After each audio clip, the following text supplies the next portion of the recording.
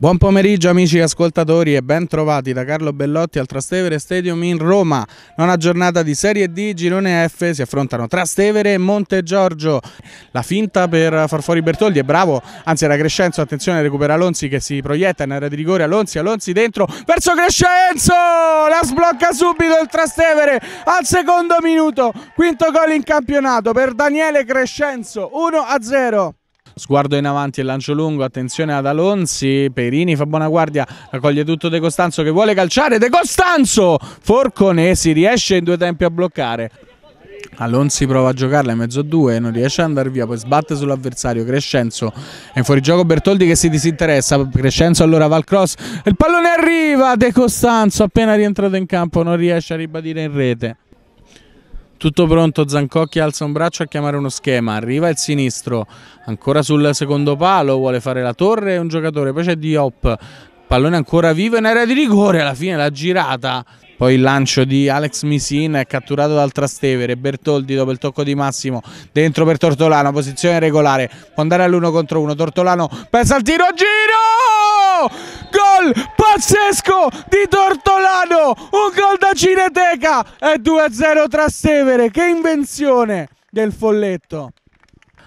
Ismaila Diop la sposta sul destro, sul, uh, si arrende poi su Crescenzo che va a inseguire la sfera, sparacchiata via da Baraboglia, ancora Crescenzo, Alonzi, posizione regolare, Alonzi in area di rigore, no, si alza la bandierina, tutto fermo, era il 3-0 del Trastevere ma nello scacchiere del Montegiorgio la rimessa è del Trastevere che sta giocando lo porto l'1-2 con Tortolano poi Alonzi in area di rigore ne ha due addosso si gira!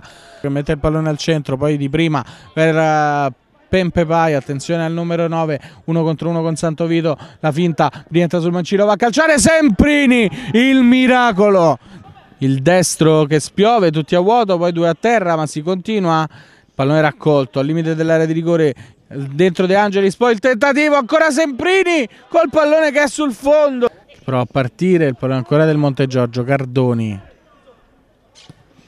Cardoni ancora, limite dell'area, pensa al mancino che va, traversa sulla deviazione di Semprini, un altro miracolo del portiere di casa sulla conclusione di Karim Cardoni.